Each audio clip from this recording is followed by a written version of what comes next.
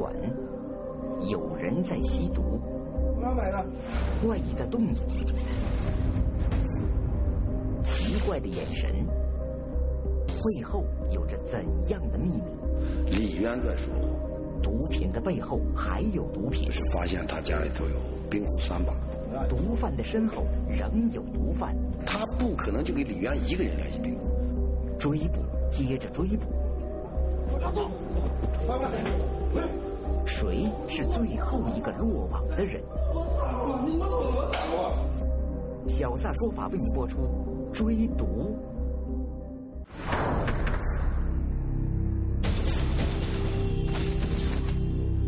每一个细节都让我沉思，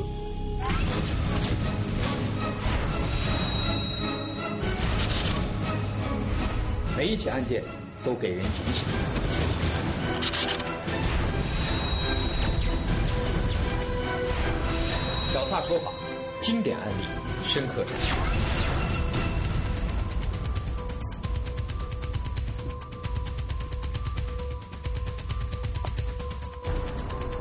各位好，这里是今日说法特别节目《小撒说法》。在讲述今天的案件之前，我们先来看这样一张照片。照片上面是几名犯罪嫌疑人在接受警方讯问的时候，我们的镜头抓拍下的表情。可以说这个表现是各不相同，有的是翻着眼睛盯着天花板的，有的是摸着下巴的，有的是在撇着嘴的。从这些表情的背后，您能感觉得到他们在想些什么吗？在这种表情之下说出来的话，会是真话呢，还是假话？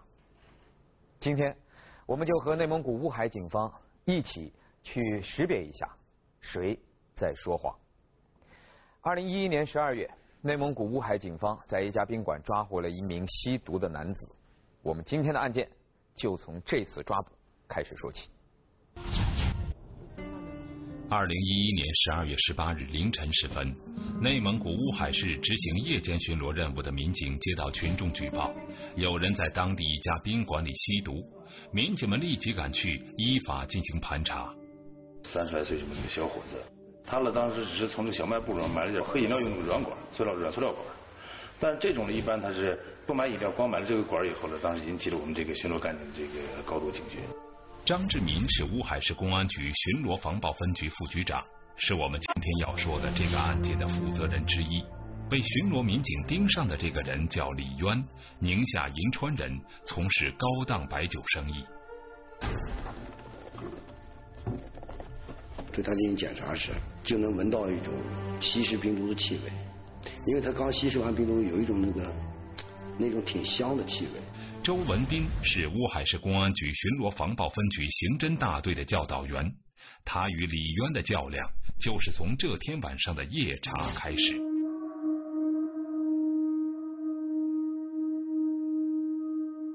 而后我们进入他的他那个床头柜以后。看到他那个床头柜摆着一把自制的冰壶。冰壶是吸毒者专门用来吸食冰毒的工具，所以说我们肯定他是一个吸食冰毒的。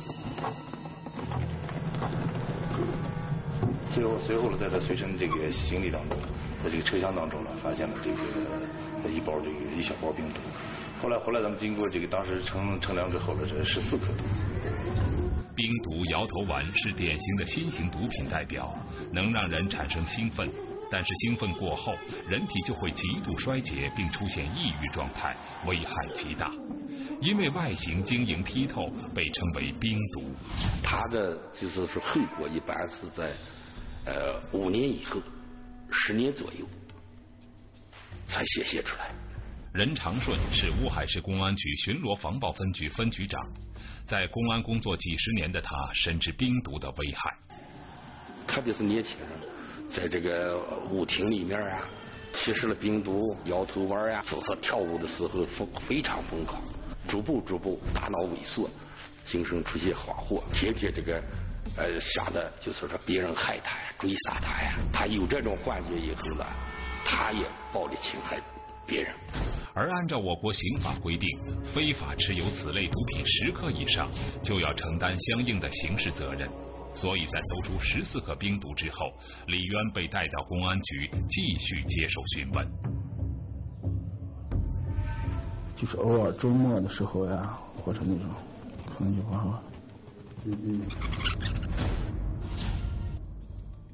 他就是说，他是一个吸毒者。通过网上了解，我好多朋友说看那种海洛就他不玩像冰毒那样不玩之后，你不会难受。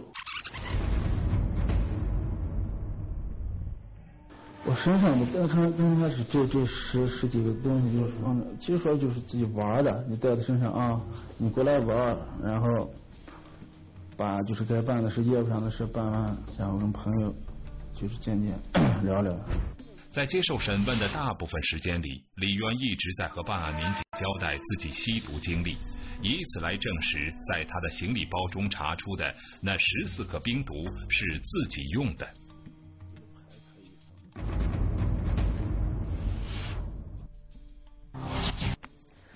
这个李渊啊，在乌海的宾馆被执勤民警抓获以后，对自己是个瘾君子这一点，压根儿就没打算回避。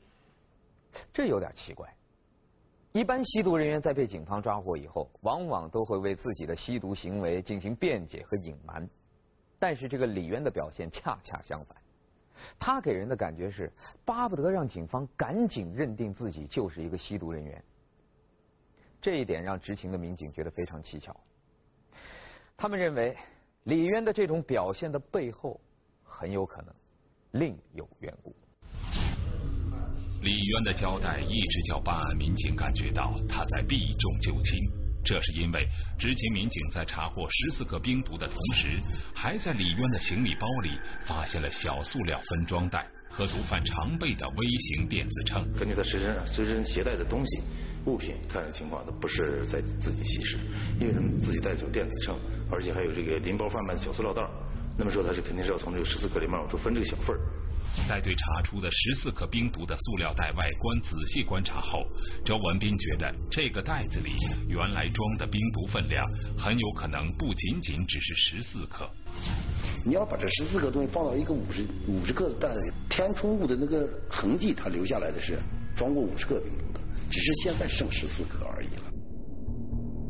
我们只是当初的初步断定为，就是说李渊在说谎。他最后真的就没有一点自己。交代的好像心里踏实啊，对不对？我该自己讲的我都讲清楚，对不对？我没有什么是隐瞒的。等你再问我对吧？不像那编呀。对，你就说的，你本来就是你自己真的假的，假的真的，头两次给你谈话，你你说半句后半句自己自己要让提说了。虽然办案民警能感觉到李渊在狡辩，但还是没能在他的嘴里获得有价值的信息，更没有其他的什么证据。那怎么样才能戳穿谎言，找出突破口呢？在审讯当中，李渊还是坚称自己就是个吸毒的，但是办案人员却发现李渊的肢体动作当中存在着一些异常，比如说，在审讯当中，李渊经常会时不时的这样抿嘴，这可能是一个会被很多人忽略的小动作，但是在这个小动作的背后。是不是会隐藏着一些信息呢？行为心理学家给出了解答，那就是人呢，在一些特定的条件下，会做出一些不自然的表情或者是动作，有时候是为了隐藏，有时候是为了逃避。办案人员从李渊这样一个抿嘴的小动作当中，能解读出怎样的信息呢？压力。任长顺他们感觉到，李渊在面对警察审讯的时候，有着一种莫名的压力，而这种压力很有可能就是来自于他内心深处的某些秘密。抓住了李渊这些异常的神态反应后，周文斌觉得，只要沿着毒品的来源追下去，案件应该会有所突破。当问到他这个毒品的来源还有这么大量的时候，说是他从银川市的一个马路边一个陌生人手里头买的。然而，当周文斌进一步追问李渊购买冰毒的确切时间、确切地点时，李渊又突然改口声称，这次买毒品自己并没有出面，全都是由女朋友代劳的。是说他的女朋友给他从这个四川、成都带来了五十克，他慢慢的去年带来的，他已经稀释的剩下最后的十十几克。李渊终于松口了，虽然真实性还有待核实，但案件毕竟开始有了推进。为了不失战机，周文斌他们连夜押解着李渊，驱车一百五十公里赶往宁夏银川。第二天一早，办案民警就找到了李渊的女友，但他对李渊的说法却矢口否认。他女朋友说：“我知道他吸食冰毒，但是他吸食他有这么多冰毒，说我不知道。”在宁夏银川，周文斌决定带着李渊到他的住所进行搜查取证。从李渊的表情上可以看出，此时回家他是极不情愿的。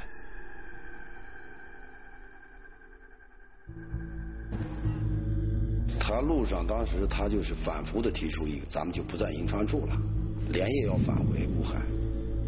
他当时一再的就是和我在沟通这个事情。李渊实际他最可怕的，对他住宅进行搜查。三十一岁的李渊还没有结婚，独自住在银川市区的一套单身公寓里。当时就是发现他家里头有冰壶三把。可是办案民警的搜查才刚开始没多长时间，李渊就不停的要求回乌海。他就是想尽快的脱身，让我们让我们离开银川，因为他这里头暗藏着一个很大的秘密。从抓获李渊到现在，过去了十个多小时。虽然李渊一直假话不断，但是周文斌在与他的周旋中，通过观察他的种种表现，已经基本摸清了李渊的底细。此时，李渊看着周文斌在自己家里搜查，几乎到了崩溃的边缘。周文斌就是希望通过这样的方式，迫使李渊自己揭开这个秘密，这样就有可能获得有价值的口供，案件才会有更大的突破。周文斌他们为什么会这么有信心？办案民警能在这套住宅中找出李渊隐藏的什么秘密吗？无尘再次出现，因为咱们也没见过那么多。李渊供出一个不知姓名的人，绝对是今年回来。机场布下天罗地网，我和他的距离是最近的保持。抓捕的命令为何迟迟没有发出？其他的人看着我们抓他。那就会跑掉的。追捕，小撒说法继续播出。小撒说法，经典案例，深刻人。就在李渊被押解回银川的过程当中，我不知道您有没有发现什么异常？警方发现了。首先，第一个异常就是在回银川的路上，李渊一直是表情凝重、身体僵硬、行动迟缓。恨不得是警察推一步，他往前走一步，显得极为的不情愿。这是为什么？第二个异常就是李渊在回到银川家中以后，待了还没几分钟，他就催促警察：“咱们赶紧回乌海吧。”您想想，家是让一个人最有安全感的地方，可是为什么李渊在自己家里根本就不想多待，甚至连在银川他都不想多待一分钟？只有唯一的一个解释。那就是在银川，甚至说就在李渊家中，有什么东西对他构成了极大的威胁。那么在银川，或者说在李渊家里，到底是什么会让李渊如此紧张？当着李渊的面，周文斌他们一边搜查着房间中的每个角落，一边观察着李渊的反应。这时，固执的李渊只是低下了头，再不说话了。然而，周文斌他们在厨房搜查时，很快就有了重大发现。在厨房的吊柜里，周文斌一眼就看到了这个塑料袋包装的小包。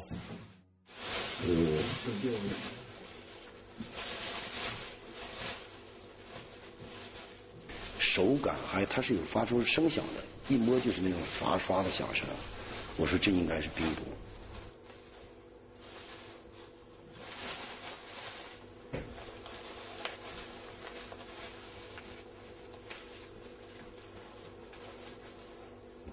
这就是冰毒了。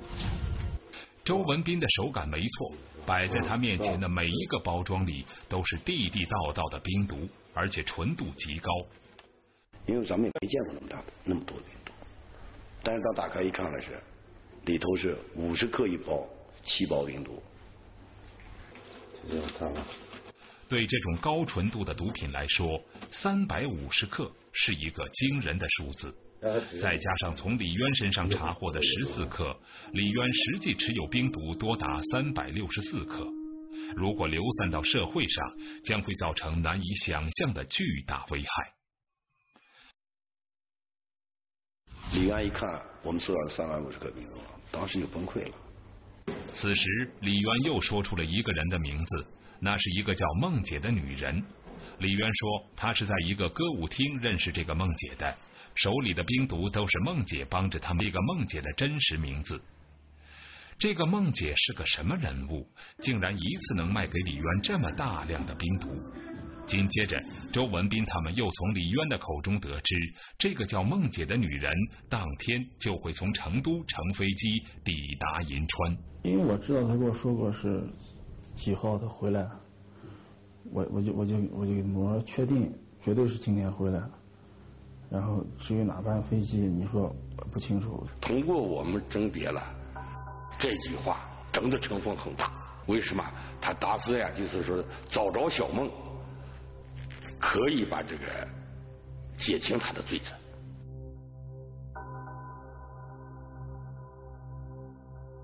从成都飞往银川，每天有两个航班，加起来有三百多位旅客，在这其中找一个不知真实姓名的孟姐，难度可想而知。乌海警方依法调取了两个航班所有旅客信息，逐一辨认。一个长发披肩的青年女子引起了大家的注意。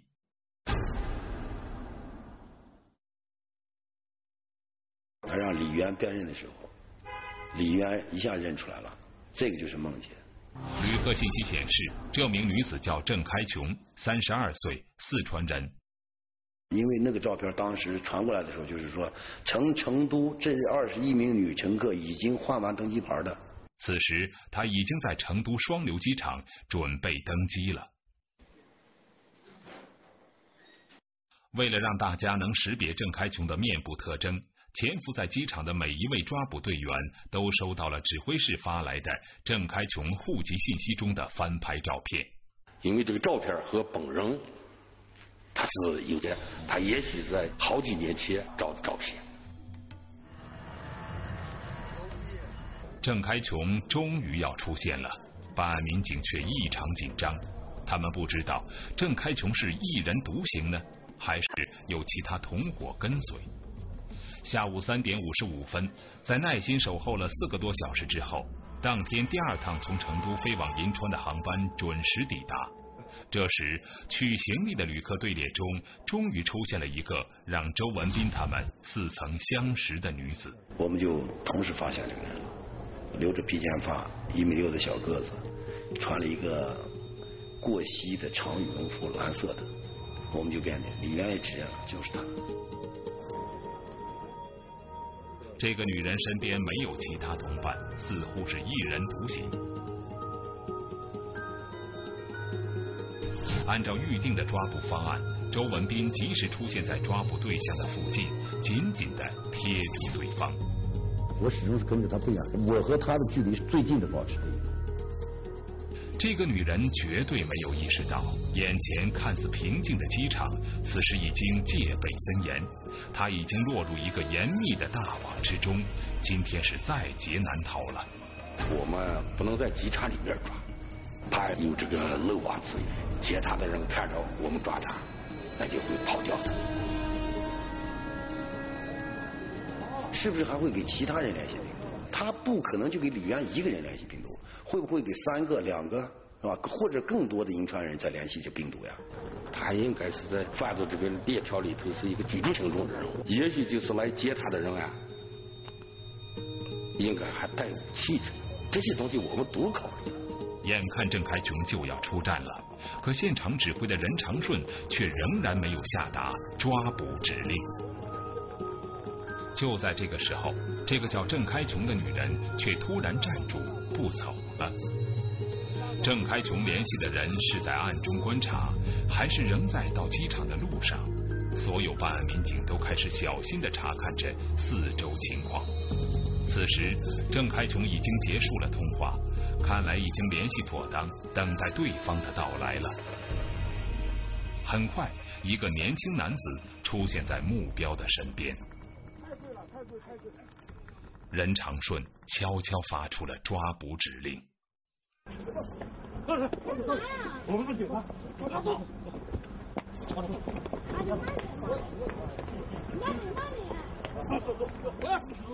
哦哦，坐下，坐下。来，往后，靠。当我们出示证件，我们是内蒙古乌海公安。他说你人了。上上车，上车。别上车，上车。郑开琼对贩毒一事拒不承认。不知道，不清楚。是李渊诬陷他，还是他在抵赖？郑开琼在撒谎，而两个毒贩的出现让案情变得复杂莫测。他说：“你看什么呀？”我说：“你掏出来我们看一下。”毒贩的背后还有多少毒贩？发现这个钱不全是他自己的。李渊的身上还有多少毒品？不可能是只是三百五十克。一次意想不到的追捕，跨绳展开。真相出人意料。追捕，小撒说法继续播出。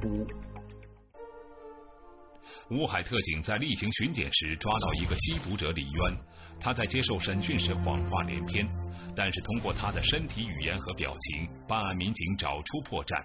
在证据面前，李渊交代他的冰毒是通过一个叫郑开琼的女子买的。在银川机场，警方将其逮捕。郑开琼说自己就是在银川某歌舞厅工作，孟姐是他在歌舞厅上班时的别名，但他想不明白为什么内蒙古警方要来抓他。他不知道我们就这么快的时间就能把他抓获，主要是这个时间太快。李渊十六号从成都走，十六号到的银川，还给郑开琼孟姐就是郑开琼发了个短信，说我平安到银川。老家哪的？四川省。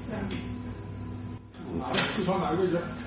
四川省珙县。你父亲叫啥？我父亲姓郑。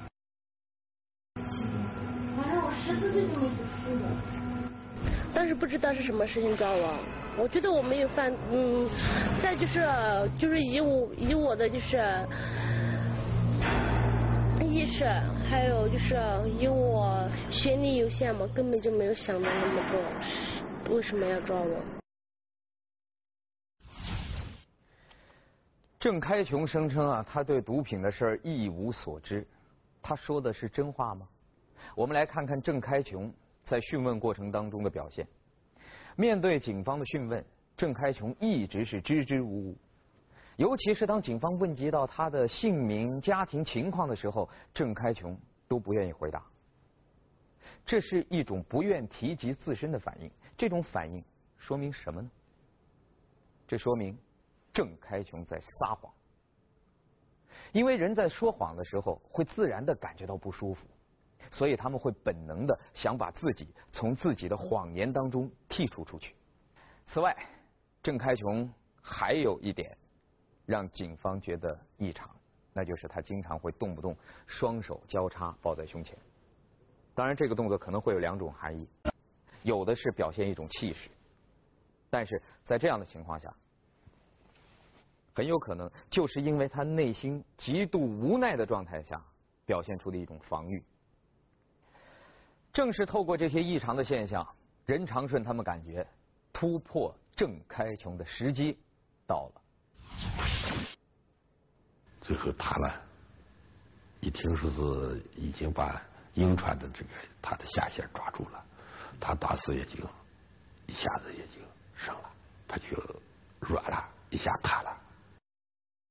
郑开琼的防线崩溃了，他开始交代在前几天发生在自己家的事儿。二零一一年十二月十六日，当他回到成都看望家人的时候。李渊也乘飞机从银川赶到成都，想让他联系购买便宜的毒品。于是郑开琼就叫来了两个人，一个人叫杨业，一个叫汪亮。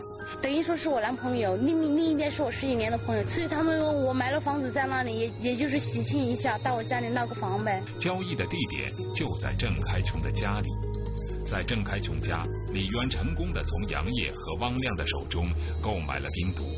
至于当时双方成交了多少，郑开琼声称他一无所知。不知道，不清楚。二零一一年十二月二十二日，就在郑开琼落网后的第四天，周文斌他们飞抵四川宜宾。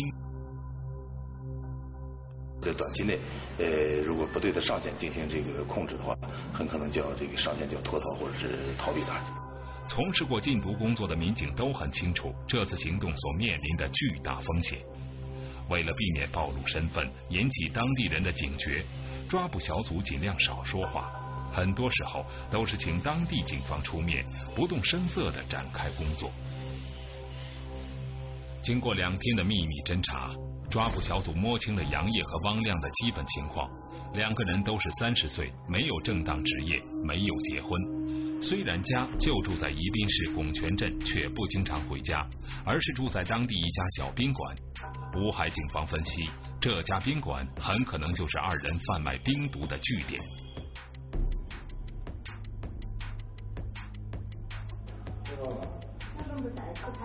这是关这是好久的嘛？十一月二十四号的呀。五零二啊，六十块钱吗？单间，总台值班员赵。十一月二十四号，今天是二十五号吗？啊，对。不就昨天的房吗？这是杨烨，这不又一张吗？这是杨业吗？嗯。然而，不知出于什么原因，乌海警方来的这几天，他们却不在这里。难道这两个人已经听到什么风声？呃，报一个房间，我们在房间里面，到时候在你们看在哪个地方，或者我先带你们去一个地方，然后到时候我们好碰头，行，好不好？啊，行。天下着小雨，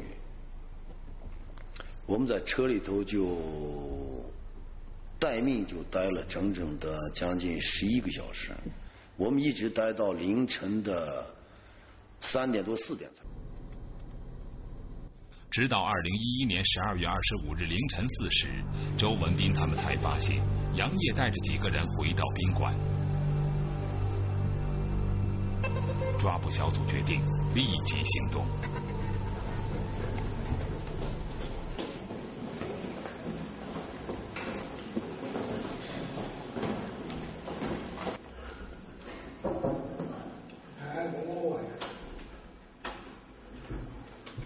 杨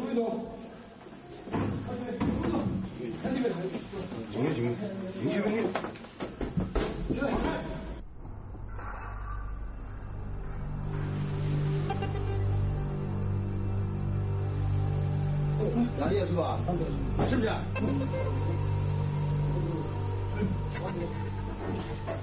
老衣服哪去啊？这两人宣言了，我就。是你是我们我们吃饭的，看他房子。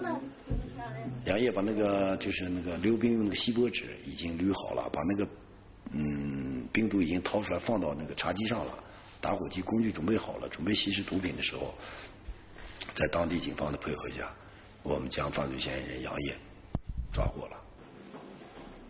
杨业虽然落网了，但另一名嫌疑人汪亮却并不在房内。周文斌他们知道，杨业和汪亮联系紧密，一旦杨业落网，汪亮很快就会察觉。抓捕小组不敢怠慢，连夜押着杨业赶往汪亮家，准备趁对方熟睡之际实施抓捕。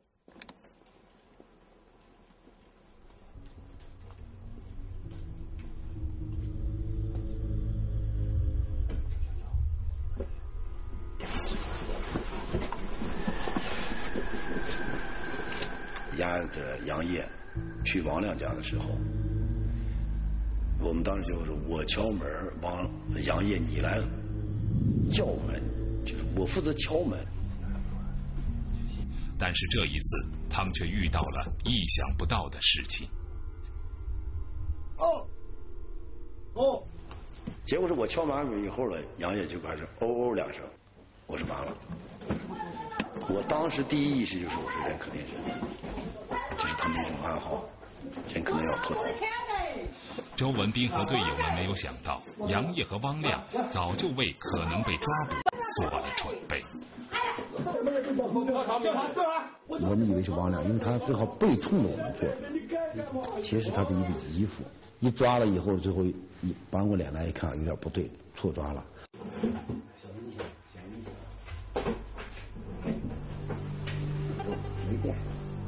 抓捕小组搜遍了这户人家里每个能够藏人的地方，就是不见汪亮的踪影。汪亮的父亲声称，儿子今晚根本没回家。他是成年人了，他是对你们该抓他就抓他，对不对？哦，那是肯定的，对不对？国家赋予的权利。不是一个法都在一包奇怪的物品，发现他的父亲兜里都鼓鼓囊囊的。一只路边的拖鞋，一张普通的双人床。追捕汪亮的过程跌宕起伏。结果是我敲门以后了，杨姐就开始哦两声。汪亮。会藏身何处？喂！追读小撒说法继续播出。小撒说法，经典案例，深刻阐述。我们再来回放一下当时现场录像的视频截图。您发现有什么不自然的地方了吗？没错，那就是汪亮的父亲嘴里叼着的那根香烟，从头到尾。汪亮的父亲也没用手去碰这根香烟一下，这说明什么呢？首先说明他叼着一根烟是不想多说话。当一个人啊不太想说话的时候，他会下意识的让自己的嘴处在一个工作的状态。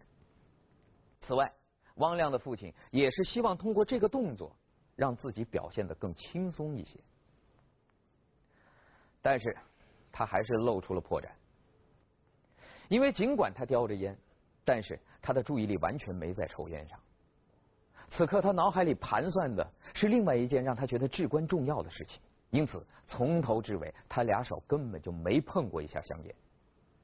也正是这样一个僵硬的姿态和不自然的细节，让任长顺他们注意到了另外一个异常，那就是汪亮父亲的衣兜。这个你应该明白对不对了？啊，您作为你作为家长，他今天从那走了，您说在家里面的活动情况，你如果知道，哦哦，在给汪亮父亲做开导工作的十多分钟里，周文斌在一旁静静的观察着。对他家里的搜都是搜查的时候，发现他的父亲兜里都鼓鼓囊囊的。那这样子，你把你的东西掏这儿吧，来，王师傅。对，你掏到这儿，把你的东西。他说：“你看什么呀？”我说：“你掏这儿，我们看一下。”盖在这儿，盖我拿了啊。我是冰毒，冰毒盒。嗯。嗯。他是冰毒盒盒。嗯。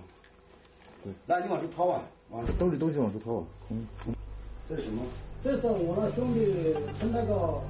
没关系，没关系，没关系，是。称就是称称，电子秤。哦，电子秤，这。当时掏出来的，一看以后。就是还是电子秤、分量工具、分装小包装袋。乌海警方通过事先调查得知，汪亮的父亲不吸毒也不贩毒，他的身上怎么会有这些东西呢？唯一的解释只能是在开门之前，屋里的人就已经察觉到警方的到来，汪亮的父亲才抢先把儿子的贩毒工具藏在了自己身上，而汪亮自然也不会坐以待毙，那他会跑到哪里去呢？当周文斌来到汪亮家的卫生间时，他一下子就明白了。汪亮家的卫生间后头有一个大约有一点二三平米那么大一个就是窗户。当我们敲开门的时候，犯罪嫌疑人汪亮早脱逃了。周文斌他们迅速沿路追赶，结果在半路发现了一只拖鞋。可能也是为了这便于逃跑，因为穿拖鞋毕竟他呃跑不动，所以把拖鞋都扔在路上以后，那什么逃跑的。此时正是凌晨四点半，黎明前最黑暗的时刻，外面又下着小雨。汪亮没有穿外衣，甚至拖鞋都跑掉了。外头下着小雨，他走不了。凌晨四五点钟了，他出不去，汪亮已是惊弓之鸟，逃跑时十分仓皇。这种情况下，汪亮很可能会找个就近的地方落脚。就是和他关系比较亲密的人，啊，他可以去的，而且他可以暴露出他现在这种状态的情况下，是吧？他是被公安局这呃抓捕的、逃跑的情况下，他会去哪里落脚？去哪里去找衣服？嗯，找这个钱物，呃，找食物，或者找一些交通工具。对周文斌他们确信，作为长期的贩毒搭档，杨业应该知道汪亮可能求助的地点。杨业最后给我们提供了说，表哥家就离汪亮家不是很远，啊，大约有一公一点五公里左右。抓捕小组立即带着杨业来到他表哥家。这是一套位于五楼的房间，此时正值凌晨时分，房门紧闭，四周一片漆黑。为了防止脱逃事件再次发生，抓捕小组派出人员紧密防守在楼房四周。我们个吸取上次的教训，就没有让杨业去敲门，只让杨业指了一下家，我们就把杨业带下去了。我们就。以当地公安局派出所检查，哎，入户检查的名义，哎，对这个杨业的表哥家进行这个呃敲门检查。民警敲门敲得很响，也能听到里面有人活动，可就是没人开门。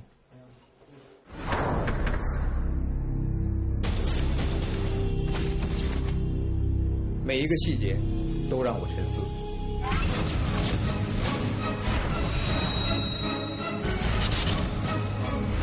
每一起案件都给人警醒。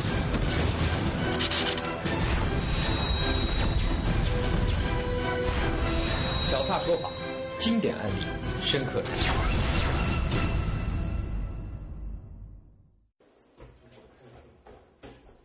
看好人啊！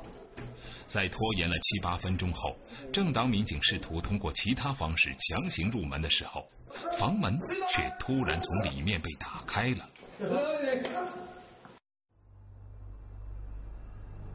我们一进来以后说检查，呃，你们几个人屋里头？杨业表哥，我俩人。说还有其他人来过吗？说没有。他当时他就一口否认了，就他们俩人。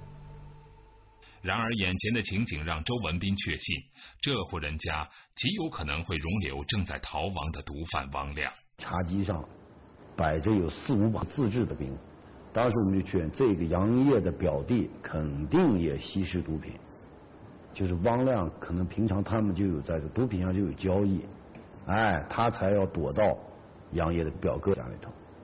周文斌和队友找遍了房间的每个角落，然而令人不解的是。依然没有发现汪亮的踪迹。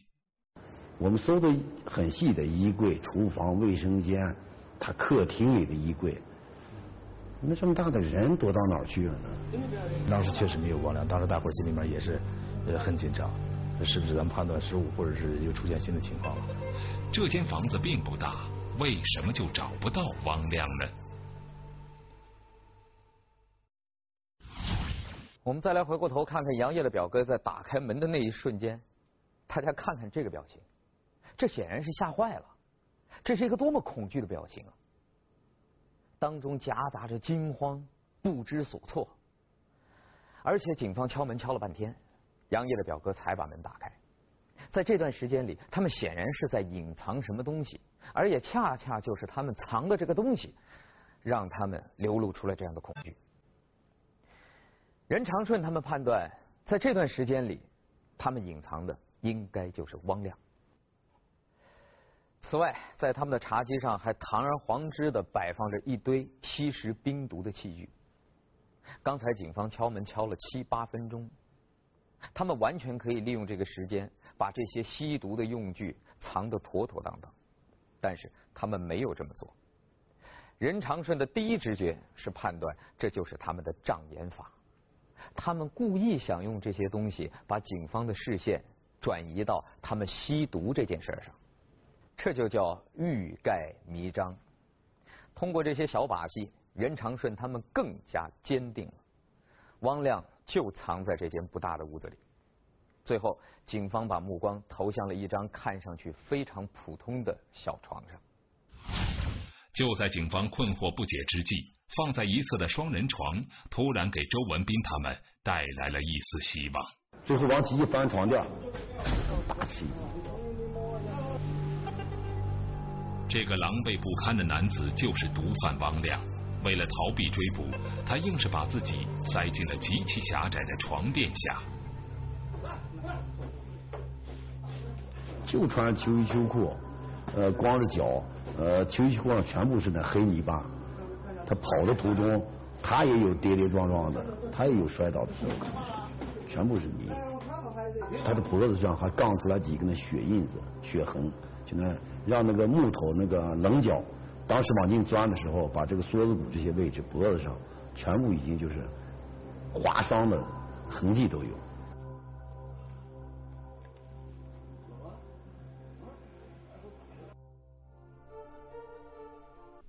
杨业、汪亮到案，他们的交代让李渊重回审讯室。十四点多克的这这个东西从什么地方来的？李渊到底有多少毒品？他说他扔了，他怕搜到，他扔了。他那眼神的背后，到底还有多少没有交代的事情？说些没用。收网。王掌柜，在哪？叫啥？不是。搜查。又一个人的到案，会让案件向着什么样的方向发展？追毒，小撒说法继续播出。乌海警方抓到一个吸毒者李渊，并在他银川的家中搜出三百五十克的冰毒。警方顺藤摸瓜，抓到了他的上线郑开琼、汪亮和杨业。最后证实，他们的冰毒交易大大超出了三百五十克。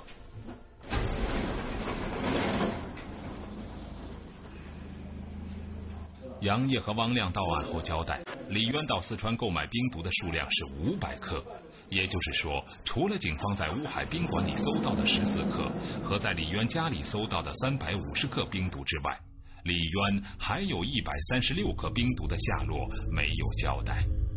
在这个审理过程中，我们也绕了好多弯子，绕了好多弯路。李渊呢，也是当时没有把这个问题彻底的给我们交代清楚。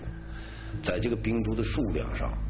我们就嗯和李渊几次进行这个核对，他俩到时候到底是郑开琼说的是真的，是五百克是真的，还是嗯李渊说的五百克是三百五十克是真的？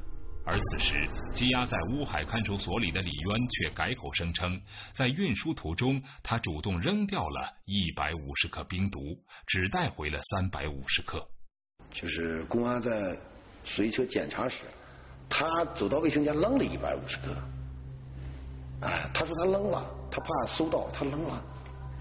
嗯，这个东西，嗯，绝对是不成立的，是吧？你要扔就都扔了，那就是公安查找你没事，你扔一百五十个，公安就没查找你。精明的李渊可能没有注意到，他在做如此陈述时已经露出了破绽。周文斌他们怀疑李渊很有可能已经将其余的一百三十多克冰毒转卖给他人，可他又不想暴露这一事实。这一次，李渊说的会是真话吗？警方又发现问题了，那就是李渊在回答问题的时候啊，眼睛老往自己的右上方瞟，这也是人在说谎时候的一种通常的反应。我们常说，有的人说假话那是张嘴就来，但是嘴他也得听大脑的。人的大脑有这样一个特点，那就是如果当大脑虚构的是一幅不存在的图像或者是声音的时候，大脑会指挥眼球往自己的右上方看。相反，如果人真的是在试图回忆曾经发生过的真实事件，那么大脑会指挥眼球往自己的左上方看。这是一个本能的反应，骗不了人的。此外，警方还发现，李渊在回答问题的时候啊，手一直紧紧攥着拳头，表现出的是一种退缩、防卫和逃避。尽管任长顺他们认定了李渊是在撒谎，但是李渊就是不松口。所以警方只能是通过外围的调查来锁定另外一百三十克毒品的去向。我们再来看一下李渊这几天中的行程。二零一一年十二月十六日，李渊携带毒品回到宁夏银川，两天后十二月十八日凌晨在内蒙古乌海落网，此间不足四十八小时。如果李渊将一百三十克冰毒快速转卖，他会卖给什么人呢？在李渊这些天的手机通话记录里，周文斌他们很快就锁定了一个可疑的人。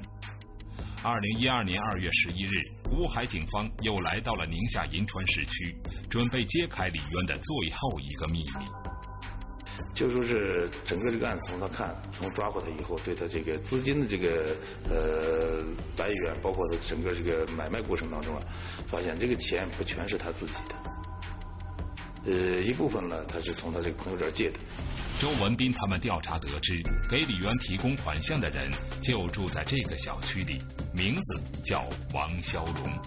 王肖龙也在卖，就是自己就是咱们俗话说的，就是以贩养吸，就是平常小来不言的卖点自己就再抽点他就是这这么个情况，他属于这么个角色了。经过大半天的蹲守。可疑男子终于在楼层过道中出现了。你们闹事都撞我咋了吧？带上，你叫个啥？不是，我叫我闹我咋了吧？带他，我咋了吧？你们闹我咋了？老实点，老师，好，老实点。往后走。去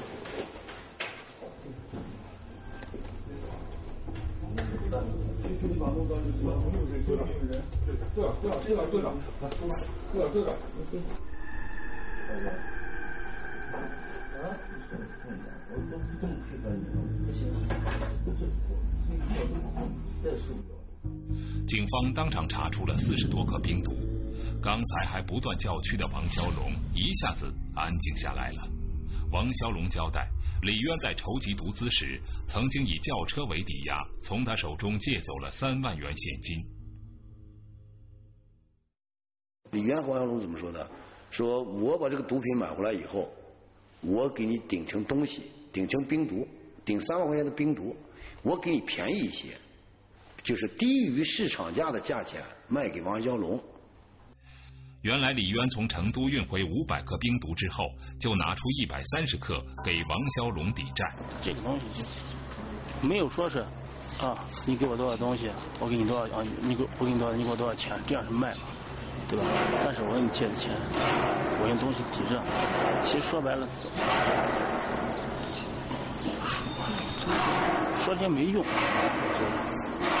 我说不是卖，那也不可能，对不对？王肖龙接到一百三十克冰毒后，转手将这些冰毒化整为零，加价卖给其他吸食者。这些毒品的去向充分证明，李渊已经不仅仅是毒品的非法持有者，而且还是毒品的运输者和贩卖者。其实啊，警察办案的过程就是识破一个一个谎言和假象的过程。在办案当中，民警使用的这种非语言沟通，也就是我们说的察言观色，就是去观察犯罪嫌疑人他的面部表情、手势、肢体动作、肢体距离，甚至是衣着打扮，从而来解读他们内心的所思所想。这既是现代刑警的一项新技能，也是让犯罪分子心惊胆战的心理较量。当然，有的人会说了，我心理素质好。这要换成我的话，一定能装出一副若无其事的样子，让警察根本猜不透。我可以告诉您，不可能。只要你心有所想，你就一定会多多少少反映在语言和动作当中。套用一句我们听了无数遍的话：再狡猾的狐狸也逃不过猎人的眼睛。六二六国际禁毒日要到了，在这里向曾经以及仍然奋战在禁毒第一线的人们。表达我们的敬意。现在三十一岁，也没有结婚，可能是正常人的那种生活，在十几年中，结婚生子呀，就没有了。